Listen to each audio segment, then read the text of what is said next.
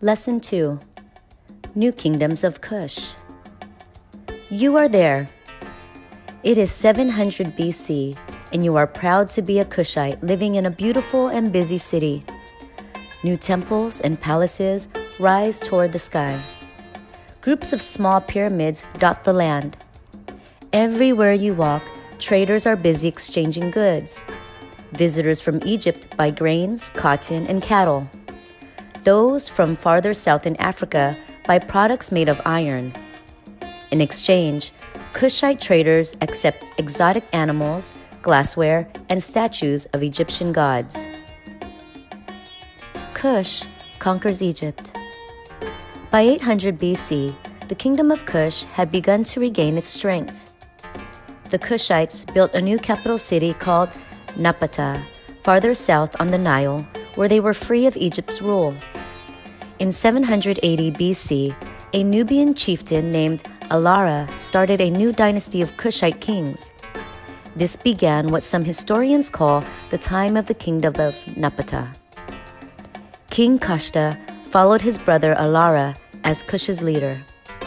Kashta kept a careful watch on the weakened Egypt. In about 750 BC, Kush captured Upper Egypt. Later, Kashta's son Piye or Piankhi conquered Lower Egypt. Piye's conquest brought all of Egypt under Kushite control. After Piye's death, his brother Shabaka claimed the Egyptian pharaoh's throne. He and the Kushite pharaohs who followed him ruled as Egypt's dynasty 25, or the Kushite dynasty. Perhaps the most successful of all the dynasty 25 pharaohs was Taharka. Pharaoh Taharka is remembered for the temples he ordered built. The Kushite pharaohs ruled Egypt from about 730 BC to 671 BC and helped restore Egypt to its former glory. They rebuilt temples that had been destroyed and built new ones. A new beginning. The Kushites' rule over Egypt came to an end when the Assyrians invaded Egypt. Kushite and Egyptian soldiers could not compete with the large Assyrian army. When the Assyrians destroyed the combined Kushite and Egyptian armies, Taharka and his Kushite army retreated to Napata. King Taharka died in Napata. Soon after, the Assyrian rulers of Egypt robbed and plundered Napata. The Assyrian attack on Egypt proved to be a major setback for the Kushites. However, the Kushites learned new techniques about iron making from the Assyrians. Kushite skill in iron making would help them build a new kingdom. In 591 BC, Kushite leaders moved their capital south to Meroe near the sixth cataract of the Nile River. There, farther from Egypt, the Kushites once again rebuilt the kingdom of Kush, also known as the Kingdom of Meroe. At Meroe, the Kush civilization lived on and made many advances. This time of achievement, which lasted from 270 BC to AD 350, is known as the Meroitic period. During the Meroitic period, Kush included most of Nubia, as well as regions far south of Khartoum. Across the kingdom, the Kushites built temples to their own gods, as well as palaces and pyramids for their rulers. They also created new customs of their own.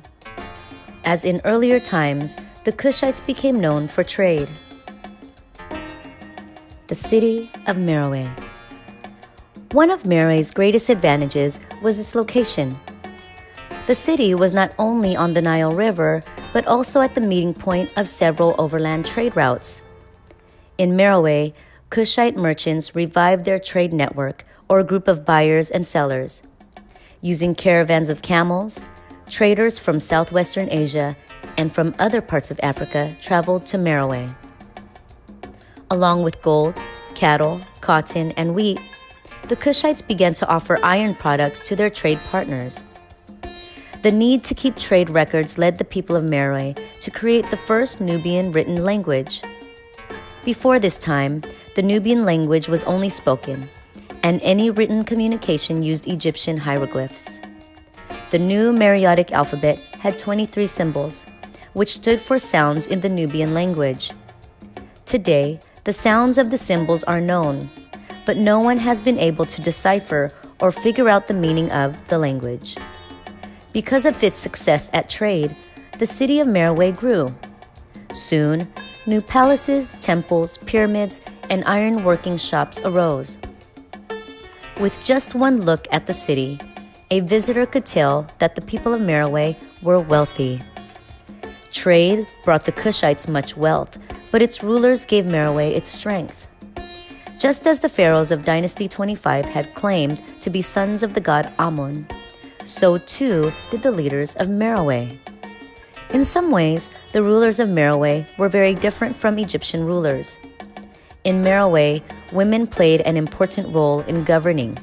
In fact, many historians believe that the right to rule was passed on through the queen, not the king. Women could also be rulers themselves, and many were. These powerful queens are even known to have led troops into battle for example, Amani Shakete led her army against the mighty Roman army. The fall of Meroe. During the 200s BC, Greek rulers in Egypt had ordered ports built on the Red Sea. Traders began to use sea routes rather than the land routes that passed through the once busy city of Meroe. No longer a center of trade, Meroe lost much of its power, importance, and wealth. Also, soldiers from the African kingdom of Aksum, in what is now Ethiopia, began making raids on Kushite towns. By about AD 350, the people of Aksum had defeated the Kushites. The king of Aksum wrote, I burn their villages, both those with walls of stone and those of straw. By the end of the 4th century AD, the Kush civilization had fallen.